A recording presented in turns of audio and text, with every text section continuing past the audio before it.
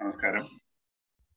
എല്ലാ സജ്ജനങ്ങൾക്കും നമ്മളുടെ സൗന്ദര്യ ലഹരി ക്ലാസ്സിലേക്ക് ഹാർദമായ സ്വാഗതം.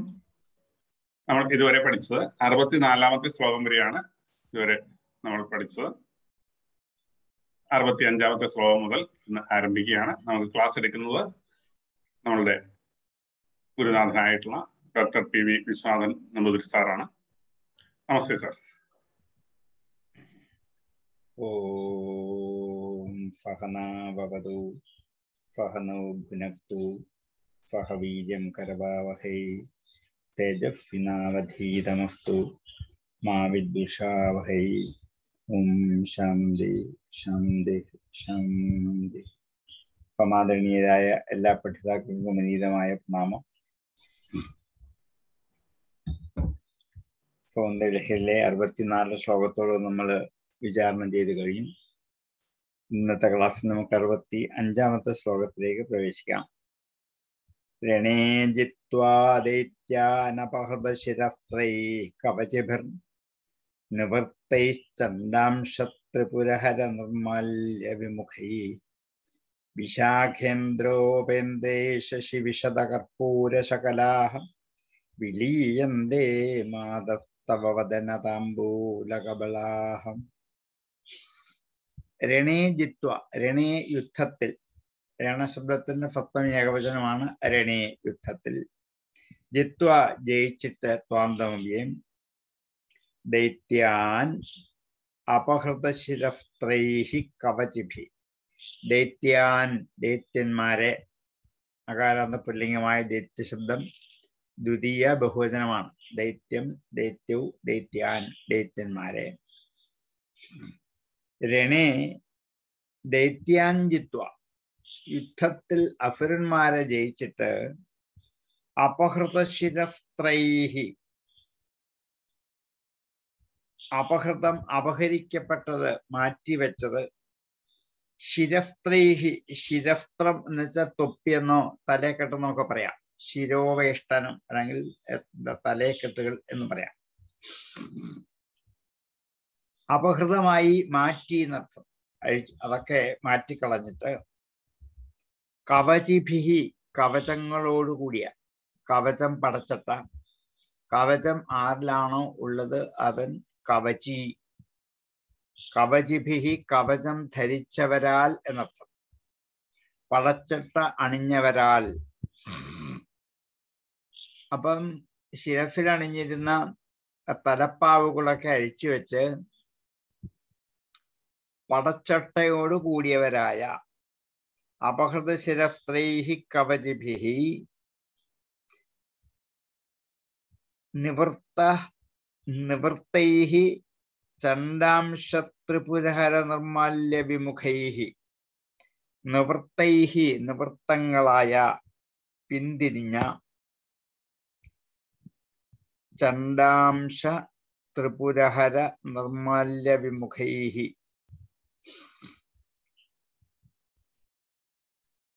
ചണ്ടമായ അംശുക്കളോട് കൂടിയവന്റെ ത്രിപുരഹര നിർമ്മല്യ വിമുഖൈഹി. ത്രിപുരഹരൻ പരമശിവൻ.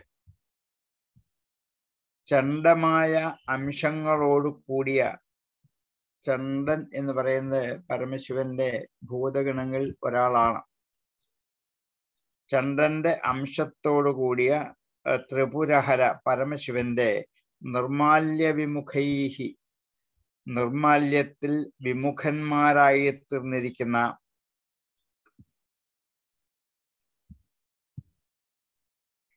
പരമശിവന്റെ നിർമാല്യത്തിന് അധികാരി ചണ്ടേശ്വരനാണ്. അതാത് ദേവന്മാർക്ക് നിർമാല്യ ദേവതകളുണ്ട്. പൂജാരികളായ താന്ത്രിക വിധികൾ അനുഷ്ഠിക്കുമ്പോൾ എല്ലാ ദേവന്മാർക്കും നിർമാല്യ ദേവതകൾ ഉണ്ട്. നിർമാല്യം എന്നുള്ള വാക്കിന്റെ അർത്ഥം ഭുക്താവശിഷ്ടം എന്നാണ് ഇവിടെ. ഭുജിച്ചതിന്റെ അവശിഷ്ടമായത് അതാണ് നിർമാല്യം. വാക്കിന്റെ അർത്ഥം നിർഗതമായ മാലയോട് കൂടിയത് ഏതോ അതാണ് നിർമാല്യം. നിർഗതമായ വേർപെട്ട പോയി കഴിഞ്ഞ മാലയോട് കൂടിയ മാല ആഭരണങ്ങളുടെ ഒരു വിശേഷണമാണ്. സമസ്ത ആഭരണങ്ങളും അഴിച്ചു മാറ്റി കഴിയുമ്പോഴുള്ള ദേവവിഗ്രഹത്തിന്റെ പേരാണ് നിർമാല്യം എന്ന്. നിർമാല്യം തൊഴുക എന്നൊക്കെ നമ്മൾ ക്ഷേത്രത്തിൽ പറയുമ്പോൾ തലേ ദിവസത്തെ ആഭരണങ്ങളും മാലകളും അതേപോലെ ചാർത്തി തൊഴുന്നതല്ല അത് മാറ്റിക്കഴിയുന്ന സമയത്തെ തൊഴില നമ്മൾ പലരും അതോടുകൂടി തൊഴുന്നു എന്നാണ് ധരിച്ചു വെച്ചിരിക്കുന്നത്.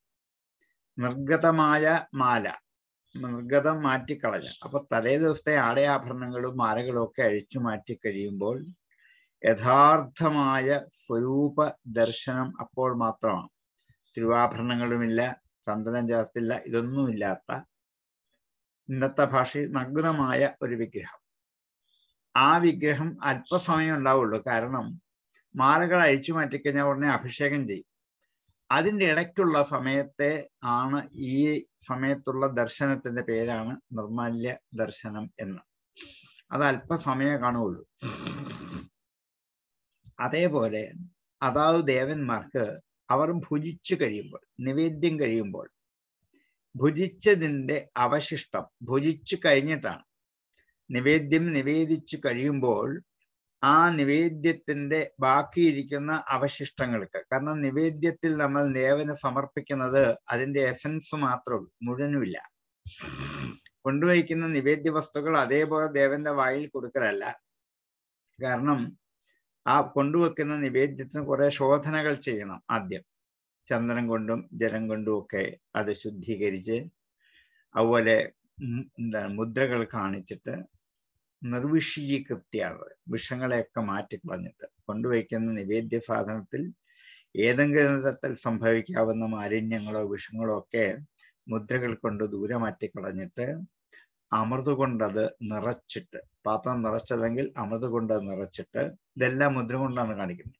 സുരഭി മുദ്ര കൊണ്ടും ഗാഠിന്യ മുദ്ര കൊണ്ടും ഒക്കെ മുദ്രകൾ കാണിച്ചിട്ട് അത് ശുദ്ധീകരിച്ചിട്ട് അതിന്റെ എസൻസ് പഞ്ചപ്രാണനെ ഉപയോഗിക്കുന്ന മന്ത്രം കൊണ്ട് ദേവന്റെ ഈ പ്രാണനിലേക്കാണ് ഇത് സമർപ്പിക്കുന്നത് വായിലേക്കല്ല.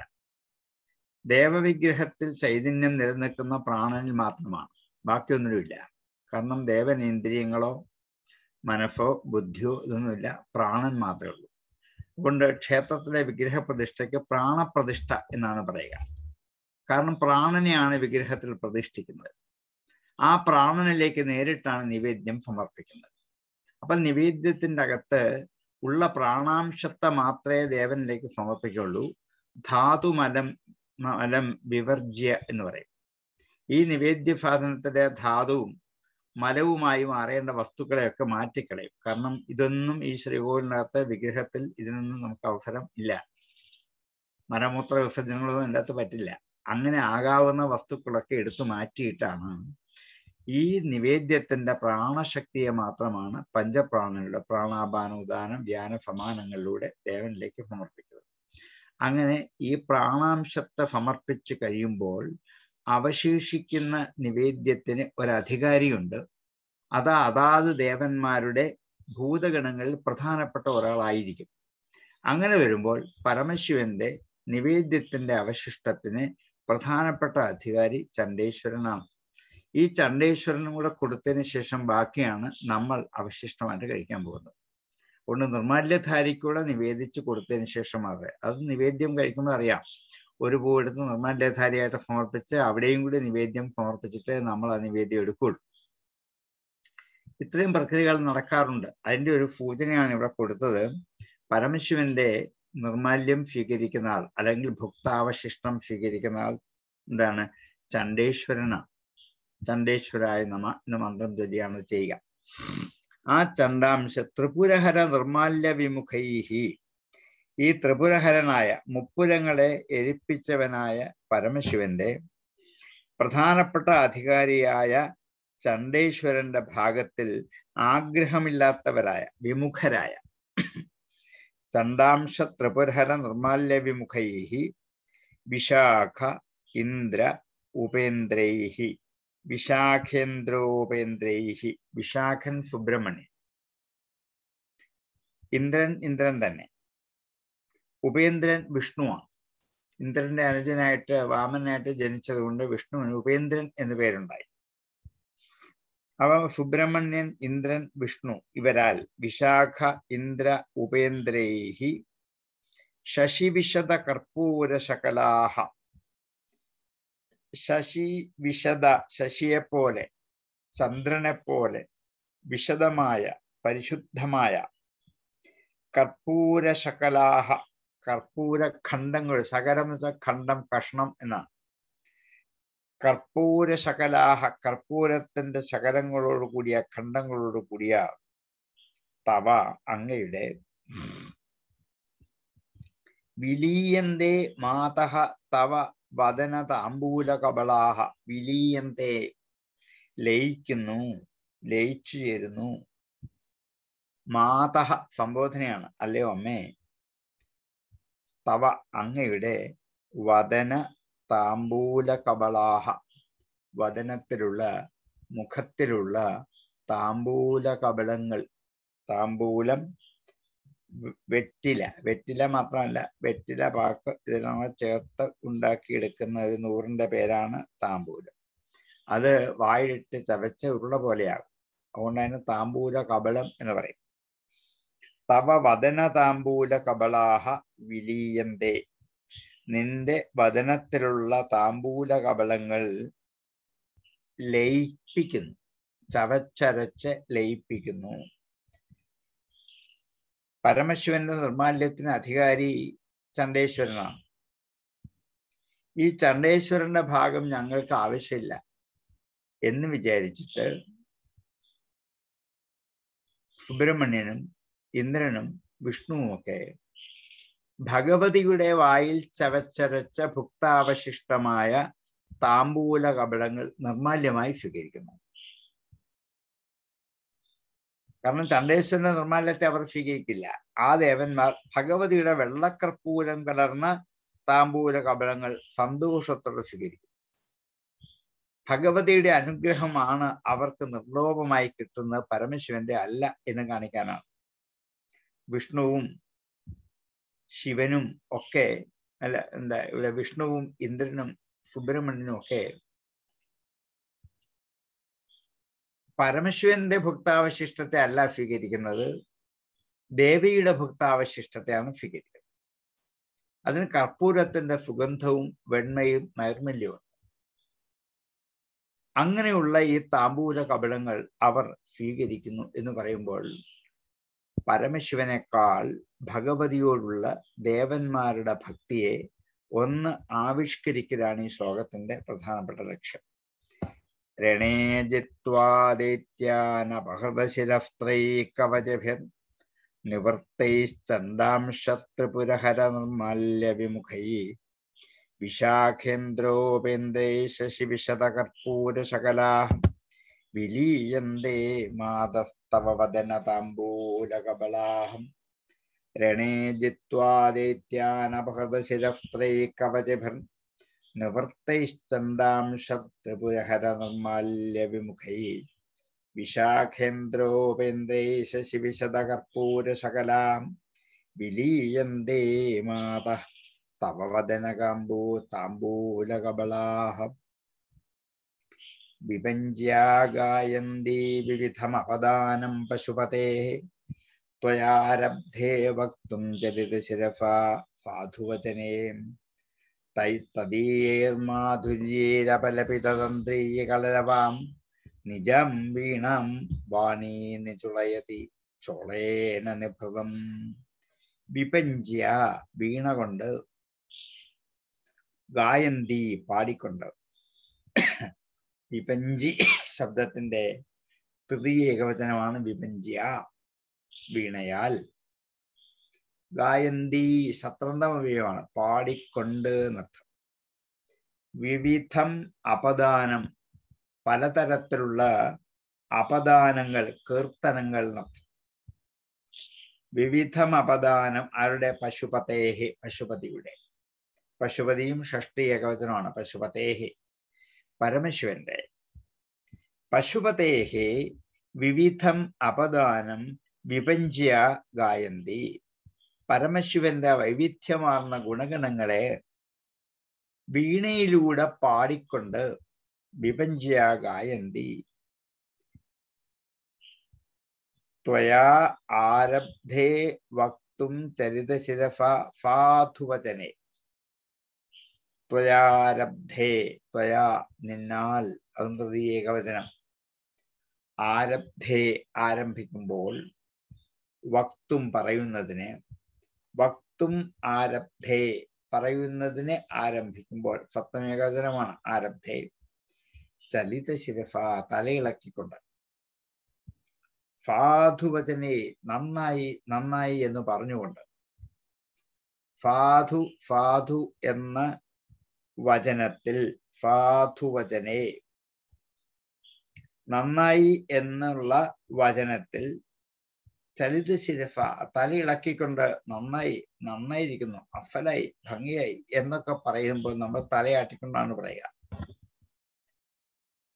അപ്പൊ പരമശിവന്റെ വിവിധ തരത്തിലുള്ള അവതാരങ്ങളെ ഈ പരാശക്തിയായ ഭഗവതി വീണയിൽ പാടാൻ ആരംഭിക്കുമ്പോൾ ചലിത ശിരഫ ഫാധുവചനെ തലയാട്ടിക്കൊണ്ട് അങ്ങ് ത്വയ ഭഗവതിയാൽ നന്നായി എന്ന വാക്കുകൾ പറയാൻ ആരംഭിക്കുമ്പോൾ തദീയേഹി മാധുര്യേഹി അപലപിതന്ത്രീ കളരവ തദീയേഹി മാധുര്യേഹി അതിന്റെ മാധുര്യം കൊണ്ട്. ഒക്കെ തൃതീയ ബഹുവചനമാണ് തദീയേഹി മാധുര്യേഹി അതിന്റെ മാധുര്യങ്ങളാൽ അപലപിതന്ത്രീ കളരവാം അപലപിതം അപശബ്ദമുണ്ടാക്കുന്ന ലേപിതം ശബ്ദമുണ്ടാക്കുന്ന ലപനം ചെയ്യുക ആലാപനം എന്നുള്ള വാക്കൊക്കെ ഇന്ന് ഉണ്ടാവുക. ലപനം ചെയ്യുക ശബ്ദമുണ്ടാക്കുക.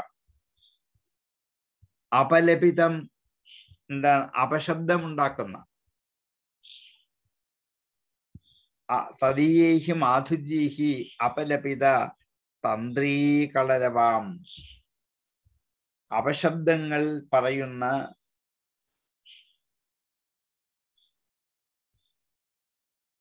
തന്ത്രി കളരവത്തെ തന്ത്രി എന്ന് വെച്ചാൽ വീണയുടെ ആ നൂൽക്കമ്പിയാണ് തന്ത്രി എന്ന് പറയുന്നത്. തന്ത്രിയുടെ കളരവം മനോഹരമായ ശബ്ദം. അപലപിത തന്ത്രി കളരവം തന്ത്രി കളരവത്തെ പോലും അവലപിക്കുന്ന നിജാം വീണാം തന്റെ വീണയെ. വീണാം ദ്വിതീയ ഏകവചനമാണ്. നിജാവും ദ്വിതീയ ഏകവചനമാണ്. വാണി സരസ്വതി ദേവി നിചുളയത്തി മറച്ചു പിടിക്കുന്നു നിചുളയത്തി മറച്ചു പിടിക്കുന്നു ചോളേന. ചോളേന നിഭൃതം ചുളയതി ചോളം എന്ന് വെച്ചാൽ അതിനെ മൂടുന്ന ഒരു പട്ടുണ്ട്. ഈ വീണയെ. ആ മൂടുപടം കൊണ്ട് നിശേഷമായും മറച്ചു പിടിച്ചിട്ടായിരുന്നു നിജാം വീണാം വാണി ചോളയന നിഭൃതം ചുളയതി. തന്റെ വീണയെ വാണി ഭഗവതി ഒരു വസ്ത്രം കൊണ്ട് ഒരു മൂടുപടം കൊണ്ട് നന്നായി മൂടി പിടിച്ചുകൊണ്ടേയിരിക്കുന്നു. പരമശിവന്റെ ത്രിപുരലഹനം മുതലായിരിക്കുന്ന കഥകൾ വീണ കൊണ്ട് കൊണ്ട് പാടുമ്പോൾ ആ തലയാട്ടിക്കൊണ്ട് നന്നായി എന്ന വാക്കുകൾ ഉച്ചരിക്കുമ്പോൾ എന്ന വാക്കു പറയാൻ ആരംഭിക്കുമ്പോൾ ആ വാക്കിന്റെ മാധുര്യം കൊണ്ട് പരാശക്തിയായ ഭഗവതിയുടെ വാക്കിന്റെ മാധുര്യം കൊണ്ട് തങ്ങളുടെ വീണയുടെ ശബ്ദം ആ ശബ്ദത്തിന്റെ മുമ്പിൽ അപശബ്ദമായിട്ട് മാറും എന്ന് കണ്ടിട്ട് വാണി ഭഗവതി തന്റെ വീണ ഒരു തുണി കൊണ്ട് മറച്ചു പിടിച്ചു. കാരണം വീണ കഴിപ്പിച്ചുകൊണ്ടിരിക്കുകയാണ് ശബ്ദമൊന്നുമില്ല. ഉണ്ട് ശബ്ദം. ഏകം കൊള്ളാത്ത ശബ്ദമാണ്. അപലപിച്ച ശബ്ദമാണ്. ഇത് പുറത്തു കാണിക്കാൻ പറ്റില്ലല്ലോ എന്ന് കരുതി സാക്ഷാൽ സരസ്വതി ദേവി തന്റെ വീണയെപ്പോഴും മൂടുപടം കൊണ്ട് മൂടി വയ്ക്കുന്നു എന്നർത്ഥം. അപ്പൊ അത്രയ്ക്ക് മനോഹരമാണ് പരാശക്തിയായ ഭഗവതിയുടെ ശബ്ദം. ലോകോത്തരമായ മാധുര്യമുണ്ട് എന്ന് നമ്മൾ കരുതിയിരുന്ന സരസ്വതിയുടെ ആ വീണയുടെ ശബ്ദം പോലും ഇതിന്റെ മുമ്പിൽ ഒന്നുമല്ല. അപലപിത തന്ത്രികളരവമാണ് അതുകൊണ്ട് തന്റെ വീണ അവൾ മറച്ചു പിടിച്ചു. വാസ്തവത്തിൽ വാക്കിന്റെ ദേവതയായ സരസ്വതിക്കു പോലും ലജ്ജിപ്പിക്കുന്നതാണ് പരാശക്തിയായ ഭഗവതിയുടെ ശബ്ദം.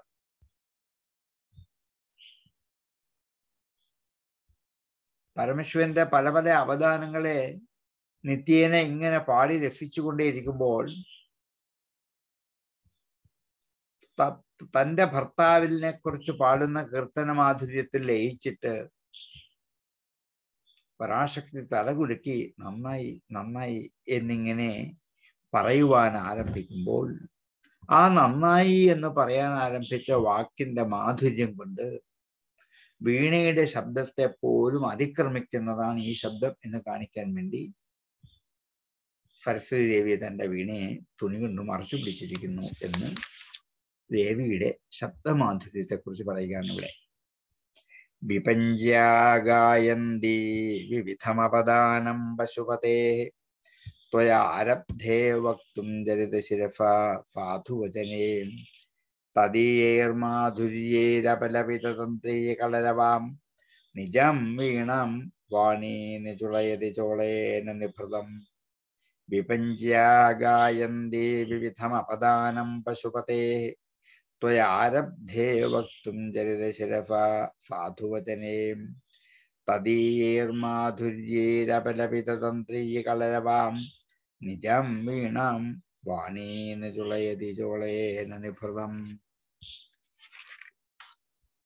കരാഗ്രേണ സ്പൃഷ്ടം തുഹിനഗിരിണാവത്സലതയാ ഗിരീശേനോദസ്തം മുഹുരധരവാനാകുലതയാം കരഗ്രാക്ഷ്യം ശംഭോ മുഖമുഖരവർ മുഖമുകുരവൃന്ദം ഗിരിഫുതേ. കഥം കാരം ഭ്രൂമസ്തവജുഭുഗമൗപമ്യരഹിതം കരാഗ്രേണ സ്പൃഷ്ടം. കരത്തിന്റെ അറ്റം കൊണ്ട് കരാഗ്രേണ സ്പൃഷ്ടം സ്പർശിച്ചു. കല കരത്തിന്റെ അറ്റം വിരലുകളാണ്. വിരലുകൾ കൊണ്ട് സ്പർശിച്ചതാണ്. കരാഗ്രേണ സ്പൃഷ്ടം. തുഹിനഗിരിണ വത്സലതയ. തുഹിനഗിരി ഹിമവാൻ. തുഹിനം മഞ്ഞ് ഗിരി പർവതം. തുഹിനഗിരി മഞ്ഞു പർവതം ഹിമവാൻ. തുഹിനഗിരിണ തൃതീയ ഏകവചനമാണ്. ഹിമവാനാൽ വത്സലതയ വാത്സല്യം കൊണ്ട്. തുഹിനഗിരിണ വത്സലതയാ കരാഗ്രേണ സ്പൃഷ്ടം തന്റെ കരാഗ്രങ്ങളെ കൊണ്ട് സ്പർശിച്ചതും ഹിമവാനാൽ മകളോടുള്ള വാത്സല്യം കൊണ്ട് വലത് കൈയുടെ അഗ്രം കൊണ്ട് സ്പർശിച്ചതും ഗിരീശേന എന്താ അവിടെ പരമശിവനാൽ ഉദഹ. ഉദഹ എന്ന് വെച്ചാൽ ഉയർത്തിയത് എന്നർത്ഥം. ഗിരീശേന ഉദഹ. ഗിരീശനാൽ ഉയർത്തപ്പെട്ട ഗിരീശേന ഉദഹ തം ഗിരീശേനോദസ്തം ഗിരീശനാൽ ഉയർത്തപ്പെട്ട തം അതിനെ മുഹുഹു അധരപാനാകുലതയ മുഹുഹു വീണ്ടും അധരപാനാകുലതയ ചുണ്ടുകൾ പാനം ചെയ്യുന്നതിനുള്ള ആകുലത കൊണ്ട് അധരപാനാകുലതയാ കരഗ്രാഹ്യം കൈകൊണ്ട് ഗ്രഹിക്കാൻ പറ്റുന്ന കരഗ്രാഹ്യം ശംഭോഹു മുഖമുകുരവൃന്ദം ശംഭോഹു പരമശിവന്റെ കരഗ്രാഹ്യമായ മുഖമുകുരവൃന്ദം മുഖമാകുന്ന കണ്ണാടിയുടെ വൃന്ദം എന്ന് വെച്ചാൽ അതിന്റെ പിടിയാണ്. താലവൃന്ദം എന്നൊക്കെ പറയുന്നത് ആ വീശുന്നതിന്റെ പിടിയും കൂടെ ചേർത്തിട്ടാണ്. വൃന്ദം എന്ന് വെച്ചാൽ അതിന്റെ പിടി എന്നാണ്. മുഖുരവൃന്ദം കണ്ണാടിയുടെ പിടി പോലെയുള്ള കരഗ്രാഹ്യം ശംഭോഹു മുഖമുകുരവൃന്ദം ഗിരിഫുതേ സംബോധനയാണ്. പർവതരാജപുത്രിയായ ഹേ പാർവതി അധരപാനത്തിനുള്ള ആകുലത കൊണ്ട് പരമശിവൻ കയ്യിൽ ഒതുങ്ങുന്നതും മുഖമാകുന്ന കണ്ണാടിയുടെ പിടി പോലെയുള്ളതുമായ കഥംകാരം ബ്രൂമ എങ്ങനെ പറയും എന്നാണ് കഥംകാരം എങ്ങനെ? ബ്രൂമഹ പറയുന്നു. തവ ചുബുകം ഔപമ്യരഹിതം. തവ അങ്ങയുടെ ചുബുകം താടി താടിയല്ലേ താടി. ഔപമ്യരഹിതം ഉപമയില്ലാത്ത ഉപമിക്കാനാവാത്ത. കഥംകാരം ബ്രൂമസ്തവ ചുബുകം ഔപമ്യരഹിതം ഹേ പരാശക്തി അങ്ങയുടെ താടിയെക്കുറിച്ച് ഉപമിക്കാനൊന്നുമില്ലാത്തത് കൊണ്ട് ഇന്നതുപോലെ എനിക്ക് പറയാൻ പറ്റില്ല. ഔപമ്യരഹിതം തവ ചുബുകം. ഉപമിക്കാനാവാത്ത അങ്ങയുടെ ഈ താടിയിൽ താടി അത് ശംഭു കരഗ്രാഹ്യം. പരമശിവന്റെ കൈകൊണ്ട് പിടിച്ചൊന്ന് ഉയർത്തുന്ന എന്തിനു വേണ്ടി? അധരപാനാകുലതയാ. ആ പരാശക്തിയുടെ ചുണ്ടുകൾ പാനം ചെയ്യാനുള്ള ആകുലത കൊണ്ട് പരമശിവൻ ഈ താടിക്ക് പിടിച്ച് ഒന്ന് മുകളിലേക്ക് ഉയർത്തുമ്പോൾ ശംഭോഹു മുഖമുകുരവൃന്ദം പരമശിവന്റെ കരഗ്രാഹ്യമായ കയ്യിൽ ഒതുങ്ങി നിൽക്കുന്ന മുഖമുകുരവൃന്ദം. കണ്ണാടിയുടെ പിടി പോലെയുള്ള ഈ താടി ഈ താടിയെ കണ്ണാടിയുടെ പിടിയായിട്ട് കണ്ടിരിക്കുകയാണ് മുഖമാകുന്ന കണ്ണാടി. മുഖമാകുന്ന കണ്ണാടിക്കൊരു പിടിയാണ് ഈ താടി എന്നർത്ഥം. അതുകൊണ്ടാണ് മുഖമുകുരവൃന്ദം ശംഭോഹു കരഗ്രാഹ്യം ചുബുകം. മുഖമാകുന്ന കണ്ണാടിക്ക് പിടിപോലെ ഇരിക്കുന്നതും പരമശിവന്റെ കയ്യിൽ ഒതുങ്ങുന്നതുമായ ആ തവ ചുബുകം നിന്റെ ആ താടിയുടെ സൗന്ദര്യം ഔപമ്യരഹിതം. ഉപമിക്കാൻ പറ്റാത്തതാണ്. എന്തിനാണ് ഈ താടി പരമേശ്വരൻ കയ്യിൽ കൊണ്ട് പിടിച്ചിരിക്കുന്നത്? മുഹുരധരവാനാകുലതയാം. വീണ്ടും വീണ്ടും അധരവാനത്തുള്ള ആകുലത കൊണ്ട് ഗിരീശേന തം ഉദഹ. പരമശിവനാൽ ആ താടിയെ ഉദഹ ഉയർത്തിപ്പിടിക്കുന്നു. പണ്ട് പാർവതിയുടെ പരാശക്തിയുടെ പിതാവായ ഹിമവാൻ വാത്സല്യം കൊണ്ട് താടിക്ക് പിടിച്ചിട്ടുണ്ട്. അത്രേ ഉള്ളൂ. മാതാപിതാക്കൾ കൊച്ചു കുഞ്ഞുങ്ങളായിരിക്കുമ്പോൾ അവരുടെ വാത്സല്യം കൊണ്ട് അവരുടെ താടിക്ക് പിടിച്ച തലോടി അവരെ കളിപ്പിക്കും. അങ്ങനെ പണ്ട് തുഹിനഗിരിണ വത്സലതയാ കലാഗ്രഹണ സ്പൃഷ്ടം. ഹിമവാനാൽ വാത്സല്യം കൊണ്ട് തന്റെ കരാഗ്രഹം കൊണ്ട് സ്പർശിച്ചതും പരമശിവൻ അധരപാന ആകുലത കൊണ്ട് ഉയർത്തിപ്പിടിച്ചിരിക്കുന്നതും പരമശിവന്റെ കൈകൊണ്ട് പിടിക്കാൻ കഴിയുന്നതും മുഖമാകുന്ന കണ്ണാടിയുടെ പിടി പോലെയുള്ളതുമായ അങ്ങയുടെ താടിയെക്കുറിച്ച് വേറൊരു ഉപമ പറയാനില്ലാത്തതുകൊണ്ട് ഞാൻ എങ്ങനെ പറയും? എനിക്ക് പറയാനാവില്ല എന്നർത്ഥം. അത്രയധികം മഹാത്മ്യമുള്ളതാണ് ആ മുഖ സൗന്ദര്യം അതെങ്ങനെ വർണിക്കണമെന്ന് ഞങ്ങൾക്ക് പോലും അറിയില്ല എന്ന് പരാശക്തിയുടെ മുഖ സൗന്ദര്യത്തിന്റെ ഭാഗത്തെ ഒന്ന് വർണിച്ചതാണ്. കരാഗ്രേണ സ്പൃഷ്ടം ദുഹിനഗിരിണ വത്സലതയാം. ഗിരീശേനോദസ്തം മുകുരധരവാനാകുലതയാം. കരഗ്രാഹ്യം ശംഭോർമുഖമുകുരവൃന്ദം ഗിരിഫുതേ. കഥം കാരം ബ്രൂമസ്തവ ജുബുഗമൗപമ്യരഹിതം കരാഗ്രേണ സ്പൃഷ്ടം ദുഹിനഗിരിണാവത്സലതയാം ഗിരീശേനോദസ്തം മുഹുരധരപാനാകുലതയാം കരഗ്രാഹ്യം ശംഭോർമുഖമുഖരബന്ധം ഗിരിഫുതേ കഥം കാരം ഭ്രൂമസ്തവജുഭുഗമ ഉപമ്യരഹിതം ഭുജാ ഭുജാശ്ലേഷാം നിത്യം പുരതമയിതു കണ്ടകവതീ തവ ഗ്രീവാധത്തെ മുഖകമലനാളശ്രിയമിയം സ്വതശ്വേത കാലാഗരുബഹുള ജംബാലമലിന മൃണാളീലാളിത്യം വഹതിയതോ ഭാരരതികാം ഭുജ ആശ്ലേഷാത് നിത്യം. ഭുജം കൊണ്ട് ആശ്ലേഷം ചെയ്യുക ആലിംഗനം ചെയ്യുക.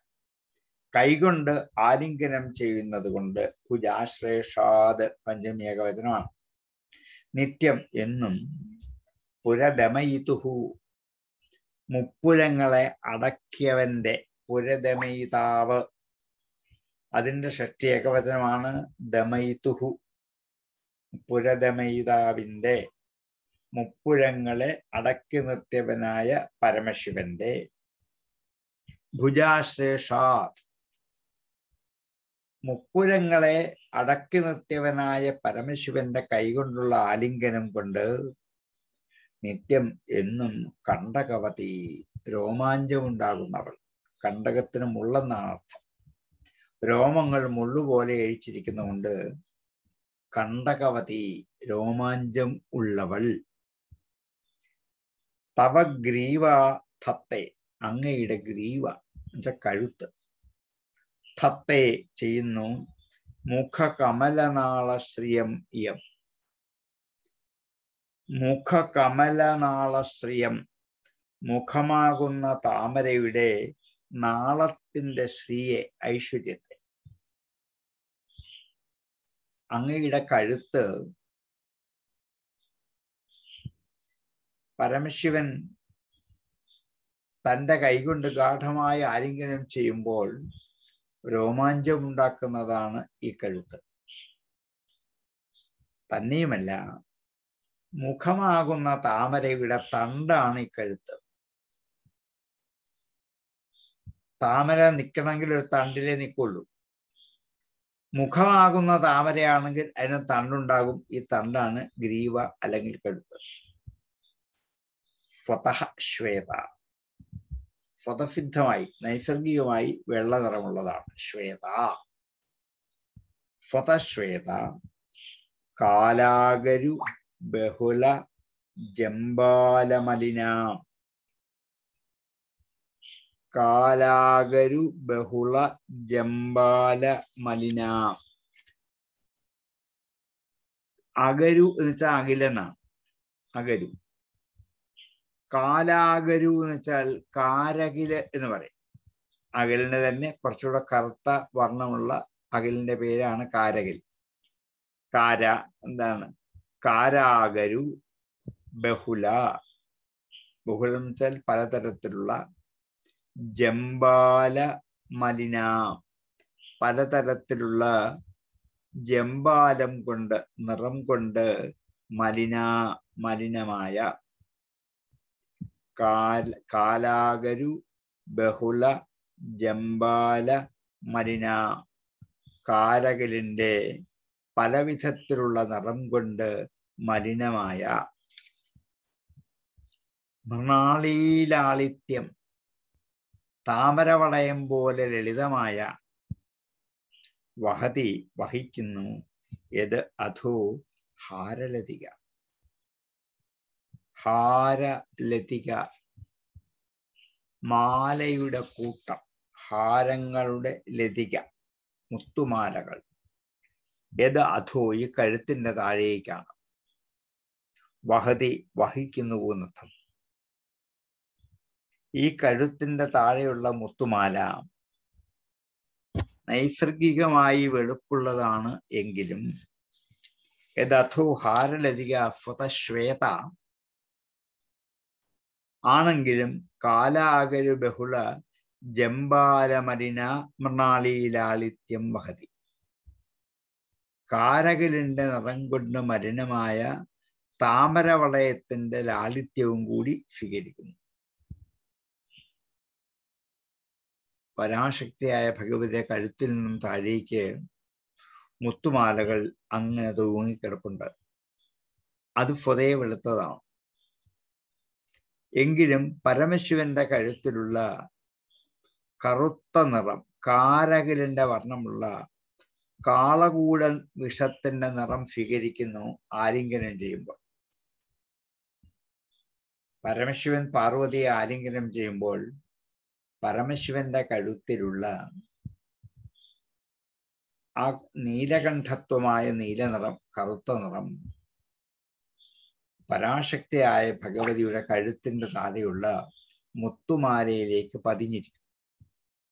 സ്വതവേ വെളുത്തതാണ് ഈ മുത്തുമാല എങ്കിലും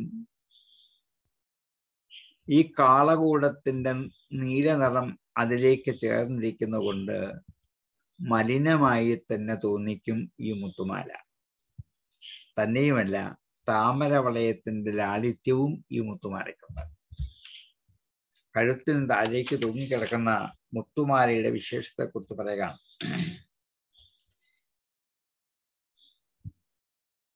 പരമശിവൻ എല്ലാ ദിവസവും ആലിംഗനം ചെയ്യുന്നത് കൊണ്ട് രോമാഞ്ചമുണ്ടാക്കുന്ന അങ്ങയുടെ ഈ കഴുത്ത് മുഖമാകുന്ന താമരയുടെ നാളത്തിന്റെ ശോഭയെ വഹിക്കുന്നുണ്ട്. അങ്ങയുടെ കഴുത്തിൽ കിടക്കുന്ന ഈ വെള്ളമുത്തുമാലകൾ സ്വതശ്വേത പ്രകൃത്യാ തന്നെ വെള്ള നിറമാണെങ്കിലും കാലാകരു ബഹുള ജമ്പാലമലിന കാളകൂടത്തിന്റെ ബഹുലമായ വർണം കൊണ്ട് മലിനമായി തീർന്ന അത് മൃണാളീലാളിത്യം വഹതി. താമരവളയത്തിന്റെ ലാളിത്യത്തെ വഹിക്കുന്നു. യഥോ ഹാരരതിക കഴുത്തിൽ നിന്നും താഴേക്ക് തൂങ്ങിക്കിടക്കുന്ന ആ മുത്തുമാലകൾക്ക് കറുത്തിരുണ്ട ലാളിത്യം വഹിക്കുന്ന മുത്തുമാല. കറുത്ത തണ്ടുള്ള താമരപ്പൂ പോലെ ശോഭിക്കുന്നുവെന്ന് താമരപ്പൂവിന്റെ തണ്ടിന്റെ ശോഭയോടാണ് ശ്രീ ഭഗവതിയുടെ ഗ്രീവ കഴുത്ത് സാദൃശ്യപ്പെടുന്നത് ഭുജാശ്രേഷാം നിത്യം പുരതമയിതു കണ്ടകവതി തവ ഗ്രീവാധത്തെ മുഖകമലനാളശ്രിയമിയം. സ്വത സ്വതശ്വേതാകാലാഗരുബഹളജമ്പാലമലിനാം മൃണാളീലാളിത്യം വഹതിയദധൂ ഹാരലതികാം. ഭുജാശ്ലേഷാം നിത്യം പുരതമയിതു കണ്ടകവതീം.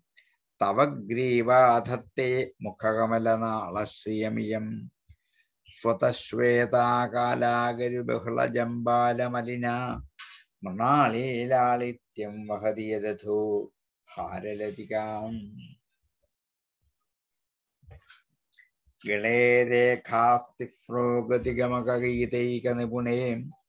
വിവാഹവ്യാനത്ഥ പ്രഗുണഗുണസംഖ്യാപതിഭുവ വിരാജന്തേ നാനാവിധ മധുരരാഗ മധുരരാഗാകരഭുവാം ഗ്രാമാണം സ്ഥിതി സ്ഥിതിനിയമ സീമാനൈവതേ.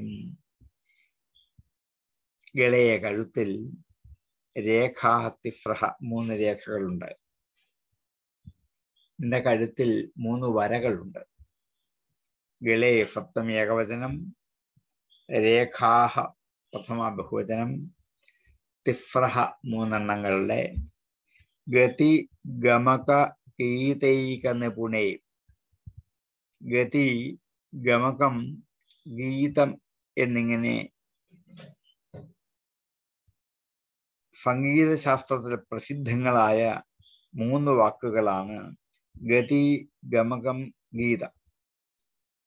അതിൽ നിപുണയാണ് പരാശക്തി. ഗതിഗമക ഗീതൈക നിപുണേ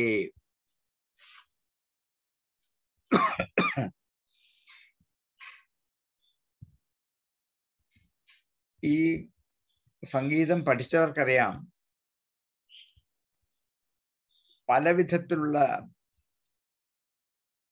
രാഗങ്ങൾക്ക് വിളഭൂമിയാണ് ഈ മൂന്ന് സ്വരഗ്രാമങ്ങളുടെ സ്ഥിതി. മൂന്ന് വരകൾ മൂന്ന് സ്വരഗ്രാമങ്ങളാണ്. സ്വരങ്ങളുടെ ഗ്രാമം എന്നാണ് കൂട്ടം എന്നാണ് പറയുന്നത്. അതാണ് ഈ കഴുത്തിലുള്ള ത്രിവലികൾ.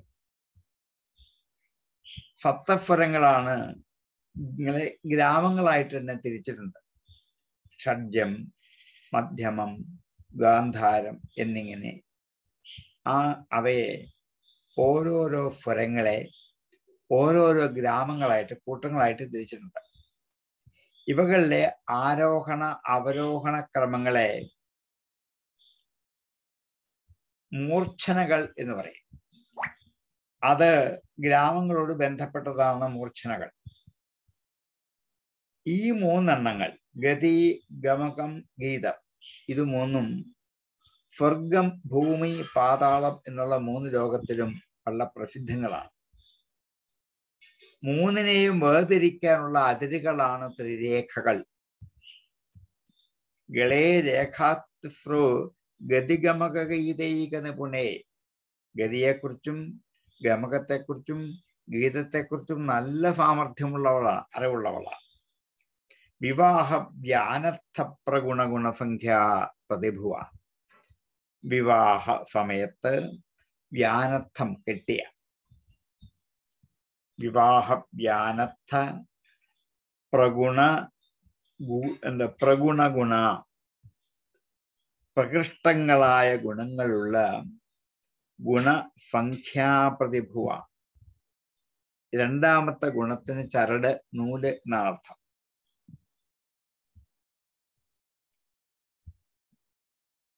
അത് എന്താ പ്രഗുണങ്ങളായ പല ചരടുകൾ കൂട്ടിക്കിട്ടിയതാണ്. ഗുണസംഖ്യ ആ ഗുണത്തിന് ആ ചരടിന് സംഖ്യയുണ്ട്. എന്താണ്? മൂന്ന് എന്നത്. മൂന്ന് ചരടുകൾ കോർത്തു പിരിച്ചുണക്കിയതാണ് ഭഗവതിയുടെ കഴുത്തിൽ കിട്ടിയിരിക്കുന്ന ഈ എന്താണ് വിവാഹ സമയത്ത് കിട്ടിയിരിക്കുന്ന മംഗല്യമാല. അതിന് മൂന്ന് ഗുണങ്ങളാണ്. മൂന്ന് ഇഴകളാണ്. ഒന്ന് ഫത്വം ഒന്ന് രജഫ് ഒന്ന് തംഫ്. ഈ മൂന്ന് ഗുണങ്ങളുടെയും പ്രതിഭുവ ഉൽപ്പത്തി സ്ഥാനമാണ് വിവാഹവ്യാനത്ത പ്രഗുണഗുണ സംഖ്യാപ്രതിഭുവ വിവാഹ സമയത്ത് കെട്ടിയ പല ചരടുകൾ മൂന്ന് സംഖ്യകളാക്കി കൂട്ടിച്ചേർത്ത് ആ സത്വരജസ്തമസുകളുടെ ജന്മഭൂമിയായിരിക്കുന്നതാണ് നിന്റെ ഈ കഴുത്തിന്റെ മൂന്ന് വരകളുടെ മഹാത്മ്യം. അത് വിരാജന്റെ ശോഭിക്കുന്നു. നാനാവിധ മധുര രാഗ ആകരഭുവാം. പല വിധത്തിലുള്ള മധുരമായ രാഗങ്ങളിലെ നിങ്ങൾക്ക് ആകരഭൂമി ഇരിപ്പിടം. ആകരഭുവാം. നാനാവിധ മധുരരാഗ ആകരഭുവാം. ത്രയാണാം ഗ്രാമാണാം. ഈ മൂന്ന് വിധത്തിലുള്ള ഗ്രാമങ്ങളുടെ സ്ഥിതി നിയമ സീമാന ഇവതെ. അതിന്റെ സ്ഥിതിയെ നിയമിപ്പിക്കുന്ന അതിരുപോലെ മൂന്ന് ഗുണങ്ങളുടെ സ്ഥിതിയെ നിയമിപ്പിക്കുന്ന സ്ഥിതി നിയമ സീമാനൈവതെ അതിര് എന്നതുപോലെയാണ്. സീമാന ഇവ അതിര് എന്നതുപോലെയാണ്. തേകളെ നിന്റെ കഴുത്തിൽ മൂന്ന് രേഖകളുള്ളത്. നിന്റെ കഴുത്തിലുള്ള മൂന്ന് രേഖകൾ സംഗീതശാസ്ത്ര പ്രസിദ്ധങ്ങളായ മൂന്ന് ഗതിഗമക ഗീതങ്ങളുടെ അടയാളമാണ്. ഇങ്ങനെ പറയാൻ കാരണം ഭഗവതി സംഗീതശാസ്ത്ര വിദുഷിയാണ്. വിവാഹ സമയത്ത് മൂന്ന് ഇഴകളുള്ള ചരടുകൾ കോർത്തിണക്കിയ ആ ചരടുകളാകുന്ന സത്വരജസ്തമസുകൾക്ക് ഇരിപ്പിടമായ സ്ഥലമാണ് ഈ ഗളം ഈ കഴുത്ത്. നാനാവിധത്തുള്ള മധുരരാഗങ്ങൾക്ക് ആകരഭൂമിയായിട്ട് ഈ കഴുത്ത് അങ്ങനെ ശോഭിക്കുന്നു. കഴുത്തിൽ നിന്നാണ് ശബ്ദങ്ങൾ രാഗങ്ങൾ മൂർച്ഛനകൾ ഗതി ഗമകം എന്നിങ്ങനെ സംഗീതശാസ്ത്ര പ്രസിദ്ധങ്ങളായ എല്ലാം ഉദ്ഭൂതമാകുന്നത് ഈ കഴുത്തിൽ നിന്നുമാണ്. നാനാവിധ മധുരരാഗ ആകരഭുവാം ത്രയാണം ഗ്രാമാണ സ്ഥിതി നിയമ ഭീമാനേപതേ മൂന്ന് ഗ്രാമങ്ങളുടെ സ്ഥിതിയെ നിയമിപ്പിക്കുന്ന അതിരുപോലെ തോന്നിക്കും മൂന്ന് ഗ്രാമങ്ങൾ മൂന്ന് അതിരുകൾ പോലെ. ഗതി ഗമകം ഗീതം എന്നുള്ളതിന്റെ ആ സംഗീത ശാസ്ത്രജ്ഞ ഗതിഭേദങ്ങളായ സ്വരക്കമ്പനാദികളെ നിയമിപ്പിക്കുന്നതാണ് ഭഗവതിയുടെ കഴുത്ത്. കാരണം രാഗങ്ങളൊക്കെ ഉണ്ടാകുന്ന ഈ കഴുത്തിൽ നിന്നാണ്. ഈ ഒറ്റ കഴുത്തിൽ നിന്ന് എത്ര രാഗങ്ങൾ മാറി മാറി പാടുന്നു? ഒറ്റ രാഗത്തിന് വേണ്ടി മാത്രമല്ല ഈ കഴുത്ത് ഈ തൊണ്ട. അതിൽ നിന്നുമാണ് രാഗങ്ങളൊക്കെ ഉത്ഭവിച്ചു വരുന്നത്. അങ്ങനെയുള്ള സ്വരഗ്രാമങ്ങളിലെ ഒരു അതിരാണ് ഈ മൂന്ന് വരകൾ. ഈ മൂന്ന് വരകളാകുന്ന അതിരിൽ നിന്നാണ് ഈ ശബ്ദങ്ങൾ പുറത്തേക്ക് വരുന്നത്. അങ്ങനെയാണ് സപ്തസ്വരങ്ങളെ മൂന്നായിട്ട് ഗതികമക ഗീതങ്ങളായിട്ട് തിരിച്ചിട്ട് അത്രത്തോളവും മഹാത്മ്യമുള്ള മൂന്ന് ലോകങ്ങളുടെ പ്രതിനിധിയായിരിക്കുന്ന ഈ കഴുത്തിലെ മൂന്ന് വരകൾ മൂന്ന് അതിരുകളാണ്. സ്വർഗം ഭൂമി പാതാളം എന്നുള്ള ത്രിലോകത്തിന്റെ അതിരുകളാണ്. ഇത്ര മഹാത്മ്യമുള്ള ത്രിരേഖകൾ വർണിക്കാൻ പറ്റാത്തതാണെങ്കിലും പലവിധത്തിലുള്ള മഹാത്മ്യം കൊണ്ട് പ്രസിദ്ധമാണ് മൂന്ന് രേഖകൾ. ഗളേരേഖാസ്തിഫ്രോഗതിഗമകൈതൈക നിപുണേ വിവാഹവ്യാനത്ഥ പ്രഗുണഗുണസംഖ്യാ പ്രതിഭുവാം. വിരാജന്തേ നാനാവിധമധുരരാഗാകരഭുവാം. ത്രയാണം ഗ്രാമാണം സ്ഥിതിനിയമ സീമാനൈവതേ. ഗളേരേഖാസ്തിഫ്രോഗതിഗമകൈതൈക നിപുണേ വിവാഹവ്യാനത്ഥ പ്രഗുണഗുണസംഖ്യാപതിഭുവാം വിരാജന്തേ നാനാവിധ ആകരഭുവാം ത്രയാണം ഗ്രാമാണാം സ്ഥിതിനിയമ സീമാനൈവതേ. ത്രയാണം ഗ്രാമാണാം? മൂന്നും ഷഷ്ടി ബഹുവചനമാണ്. വിരാജന്റെ ആത്മനിപദഷട്ടാണ് പ്രഥമപുരുഷ ബഹുവചനമാണ്.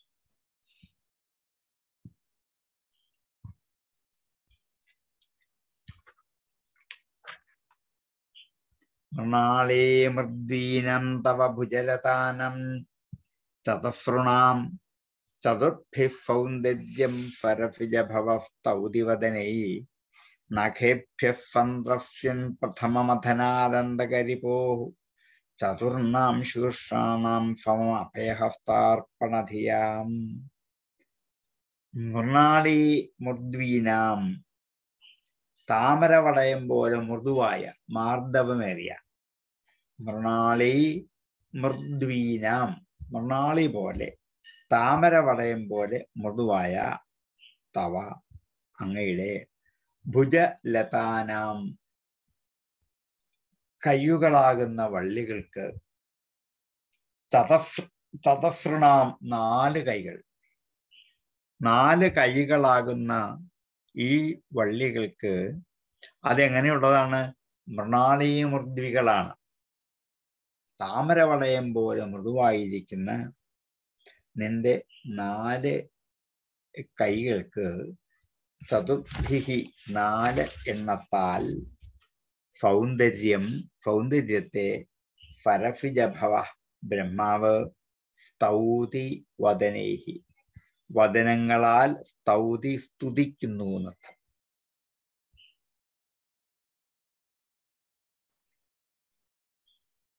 താമരവളയം പോലെ മാർദ്ദവമേറിയ വള്ളികൾ പോലെയുള്ള നാല് കൈകളുടെ സൗന്ദര്യത്തെ ബ്രഹ്മാവ് നാല് മുഖങ്ങളാലാണ് വർണിച്ചത്. അന്തകരിപ്പോഹു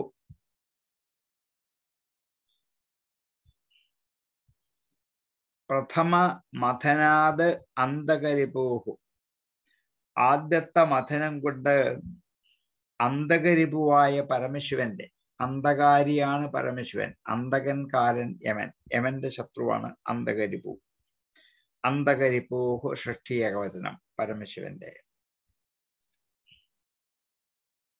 അന്തകരിപ്പോഹു നഖിഭ്യ നഖങ്ങളാൽ സന്ത്രഫ്യൻ നുള്ളിയെടുക്കുക. പ്രഥമ മഥനാത് അങ്ങനെ ആദ്യത്തെ ശിരസ് മഥനം ചെയ്ത് നശിപ്പിച്ചു.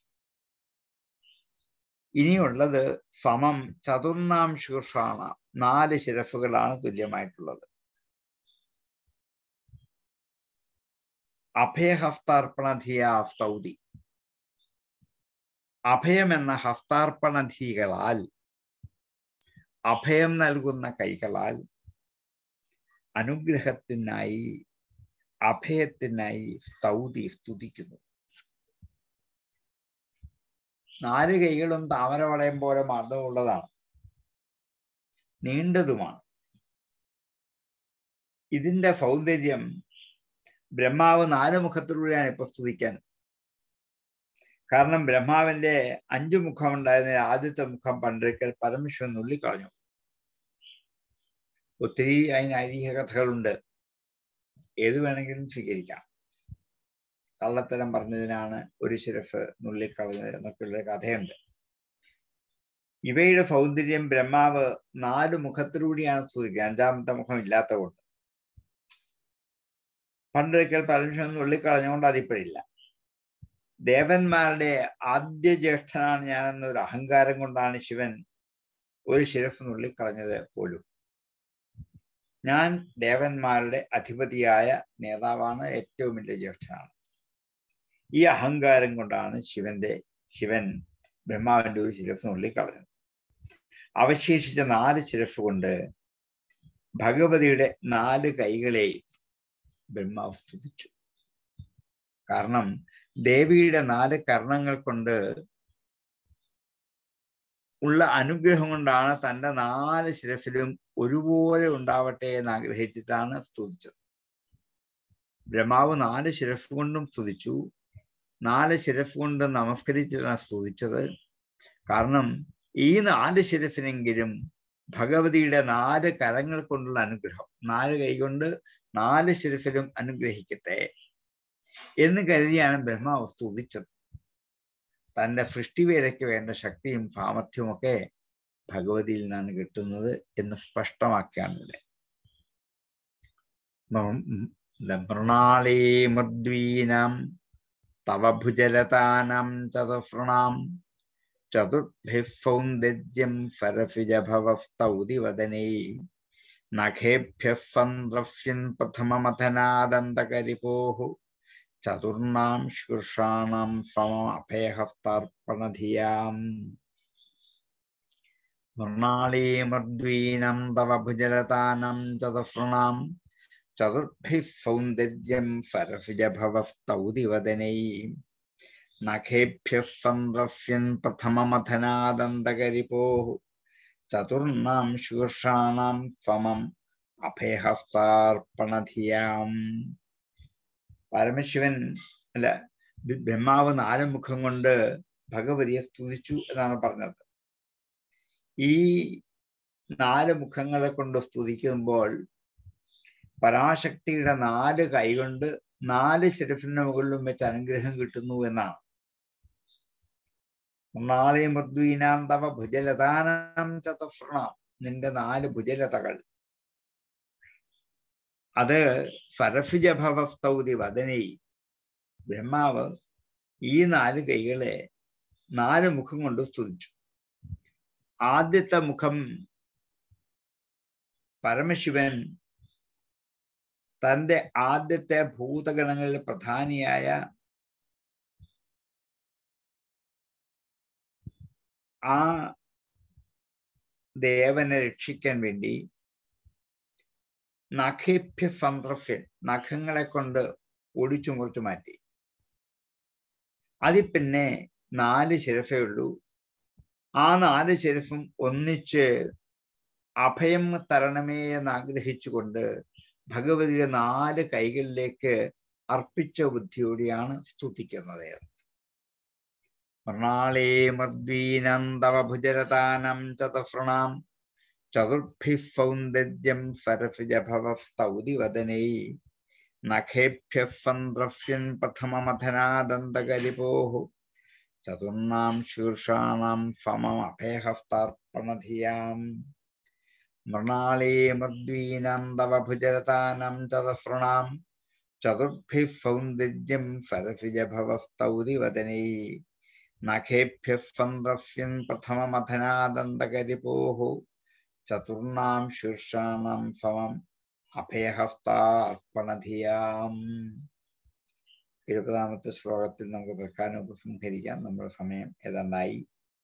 ഇനി ശ്ലോകം എടുത്താൽ നമുക്ക് തീരാൻ വൈകും. അതുകൊണ്ട് ഇന്ന് നമുക്ക് ഈ ക്ലാസ് ഉപസംഹരിക്കാം. ആർക്കെങ്കിലും എന്തെങ്കിലും ആശങ്കകളോ സംശയങ്ങളോ ചോദിക്കാനുണ്ടെങ്കിൽ അല്പസമയം അതിന് വിനിയോഗിക്കാം.